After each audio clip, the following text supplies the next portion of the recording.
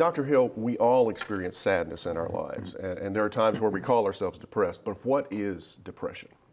Depression is a mood state where you have lost the normal feeling of emotional reactivity, where you're not having any fun in life, your energy's low, your focus of your thoughts are negative, and you're just generally not having any fun. You're in a funk and you can't get out of it. Can't get out of it. Can't get out of it.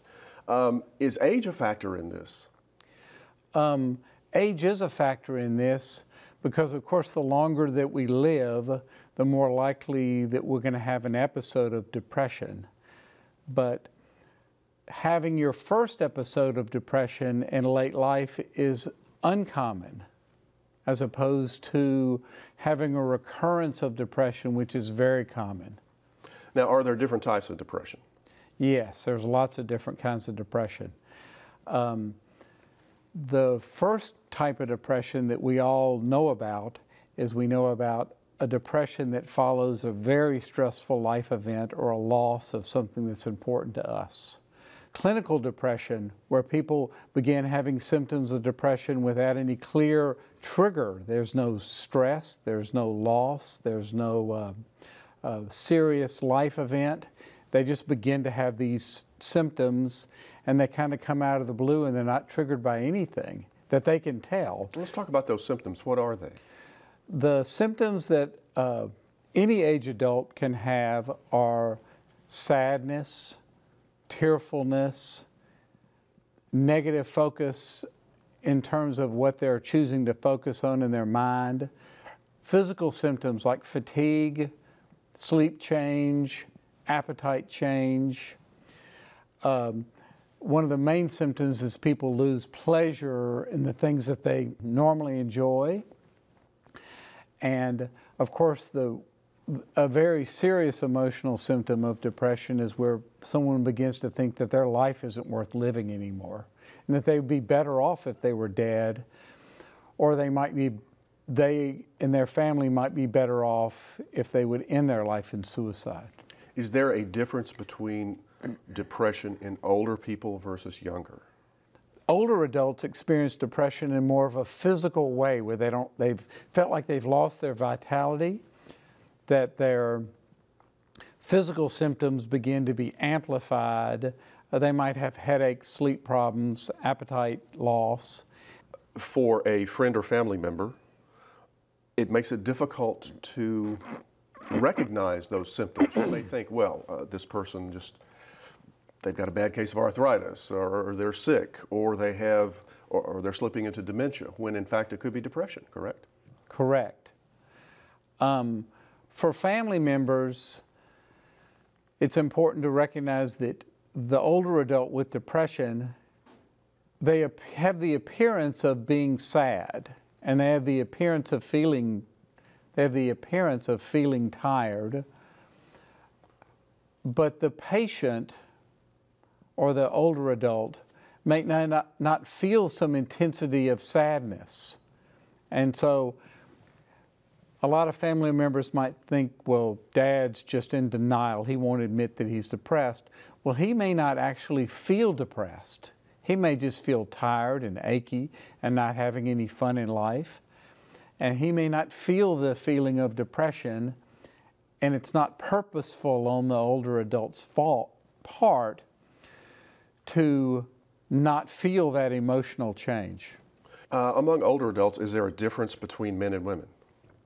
Uh, the difference mainly has to do with the incidence of depression. We know that men have less depression in late life than women do. So women have a higher rate of depression, but fortunately, women feel those, emo- those depressive symptoms and they'll seek help for those. And men frequently will never be aware that they have clinical depression and won't seek help for that. Well, let's talk about the solutions here.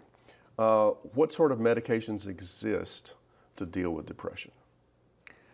Um, there are many classes of antidepressants that are available for older adults to take. uh, the most common antidepressant that's prescribed in the elderly population is sertraline.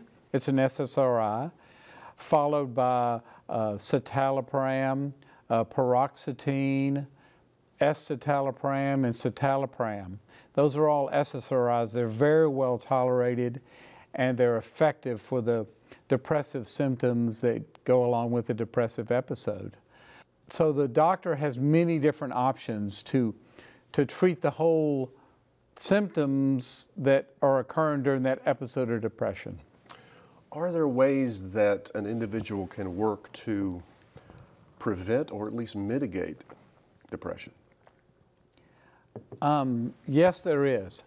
Um, of course, if you have a clinical depression, let's say your thyroid is in failure and um, you're having depressive symptoms as a result of that, it's pretty hard to act your way into feeling better if you don't have enough thyroid hormone in your body. But when we, for the most common kind of depression, which is a stress induced depression or a life loss or a um, a change in your life setting, like you've retired or you've made a major move, uh, the way to prevent having an episode of depression is to stay engaged with other people. Stay active, stay connected, continue to exercise. Um, we know that exercise is good for your body, it's really good for your brain, it's especially good for helping ward off depression. Uh, become a better sleeper. The importance of sleep in terms of preventing depression uh, can't be overstated because um, many of us get out of our life normal our normal life routine, and we should should continue to focus on sleeping eight hours a night during the evening hours, not during the daytime. And so sleep is really important. Um, continuing to have mentally stimulating activities like uh, taking a continuing education class or learning to do something new or being engaged at your, at your church or synagogue, uh, being a volunteer, all those things can help ward off uh, your, an episode of depression. Excellent. Well, thank you, Dr. Hill, for being on the best times.